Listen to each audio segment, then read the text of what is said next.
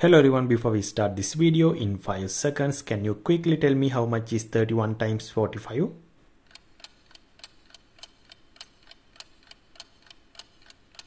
Time's up, the answer is 1395. If you didn't get it that fast, don't worry. In this video, I'm going to teach you a mental math trick that will help you multiply two digit numbers faster than a calculator.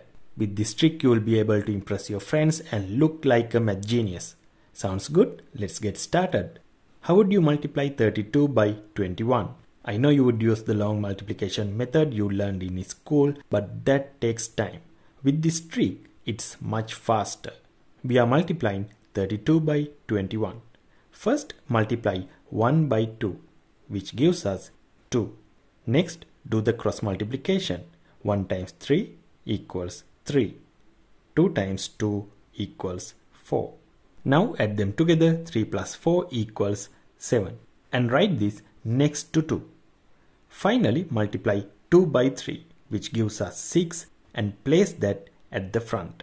And that's it. The answer is 672. Now here's a key detail you don't want to miss when using this trick. Let's try multiplying 54 by 62 and see how it works. Now that you know the steps, follow along and try it with me. First we multiply 2 by 4 which gives us 8. Next we do the cross multiplication. 2 times 5 equals 10 and 6 times 4 equals 24. Now add them together 10 plus 24 equals 34. Here's the key part. From 34 we keep the 4 and carry over the 3. Next we multiply 6 by 5 which gives us 30 adding the carry over 3 we get 33 so the final answer is 3348 alright let's go through one last example an important one.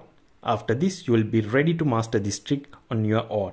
Let's say we need to multiply 67 by 43 here's how we do it. First multiply 3 by 7 which gives us 21 just like before we write down the 1 and carry over the 2 next do the cross multiplication multiply 3 by 6 which gives us 18 and 4 by 7 which gives us 28. Add them together 18 plus 28 equals 46. Now add the carry over 46 plus 2 equals 48. We write down the 8 and carry over the 4. Finally multiply 4 by 6 which gives us 24. And add the carry over 24 plus 4 equals 28. So the final answer is 2881.